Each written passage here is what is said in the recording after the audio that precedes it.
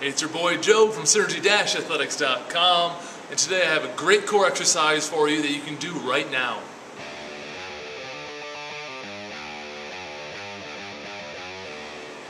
My how to do an ab plank video has got a lot of views and a lot of people have liked it because they didn't know the nuances of getting their lower back in the right position.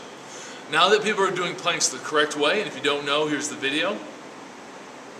I'm going to teach you how to make it a little bit harder with something called a variable plank. The variable that we're going to be working with today is the distance between your elbows and your feet. We're going to do a 10 second plank, then we're going to walk our feet back to spread the distance apart between your elbows and feet. It gets a lot harder. You're going to do that for 10 seconds. Then you're going to walk it back in for 10 seconds. You're going to see how many rounds you can make with 10 and 10 without letting your lower back sag and keeping your glutes tight.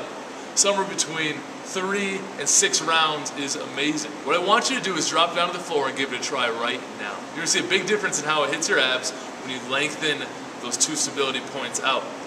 And it also will teach your body to treat a regular plank almost like a rest period. Because that's the 10 seconds of rest, then we go into the hard part, then we get our 10 seconds of break.